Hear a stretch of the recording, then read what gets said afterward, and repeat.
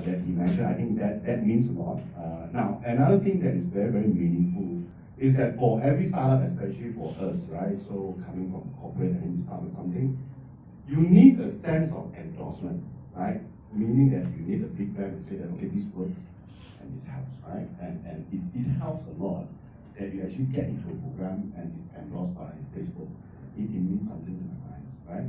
Especially in the space that why we, we, we, we collect data, we work a lot with the data, right? Means uh, to us, uh, to and, and uh, apart from that, then obviously it's all the, the mentorship and what's followed through uh, from there on.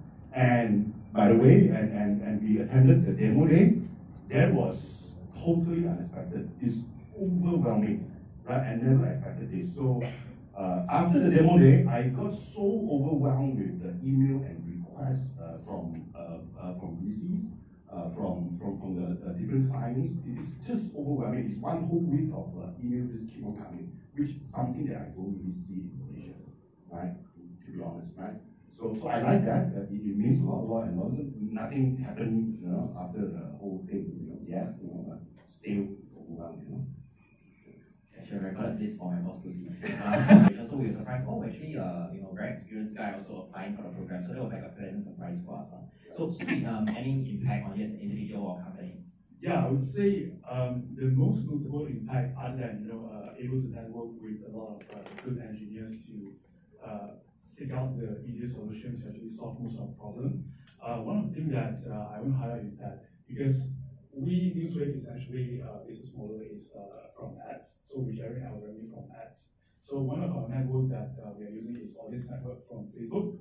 So um, with that, because one of our mentors is also from the Audience Network department, uh, at that time we are not sure how to correctly implement the Audience Network.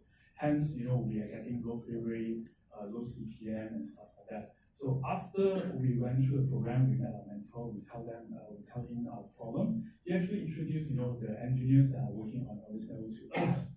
So he actually taught us on what is the best practice uh, to optimize uh, your fill rate, uh, your, your, your CPM and things like that. So I think in just one month's time, we actually triple our revenue. Yeah, so that was one of the best thing and achievement throughout the program. During the program, triple revenue. Yes, during wow. yes. After wow, fantastic. Yes. yeah, no, okay, so um, interestingly, how uh, no, how are you raising money now? Uh, yes. Yes, so you are raising money now. Yes. Both are fundraising. So any VCs in the room, please uh, feel free to reach out to these awesome startups. Last question. So, what advice would you give to startups who want to apply for a program? How do you get through the top 15? any special other than paying, you know, paying other than uh, you know, what are the secret, secret, soft secret ingredient?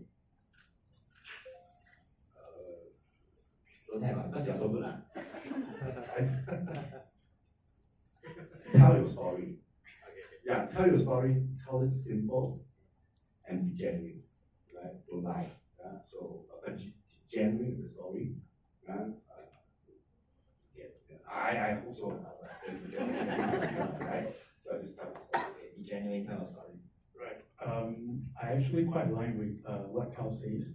So because when we apply, we didn't really think that uh, we will be fortunate enough to uh, get selected because there are so many companies trying to apply, and then uh, again we are so small. Uh, I think the main thing is that uh, you have to like Jason already lists out the requirements uh, how they actually select startup. So I think you need to make sure that your startup, your company, or your product should be something within you know that area, so that you know you get a higher chances. But to give you a sense of uh, uh, how the process will be, actually it's quite tough. I think it's like a four five round things. So first you have to fill out all the forms, and then you have a, a first interview and then third, you need to do like a short video to introduce your product and your company and your team. And then lastly, you would have like a, a interview again with 16 different people from different countries at the same time on a conference call. So eventually, you know, you just pray and see whether you get selected. yeah, so, yeah. All right, so last, last, last question. Who is your favorite Facebook employee? Nancy. Nancy, who is Okay, so uh, yeah, thank you so much for joining us today. Uh, round of applause to our awesome alumni.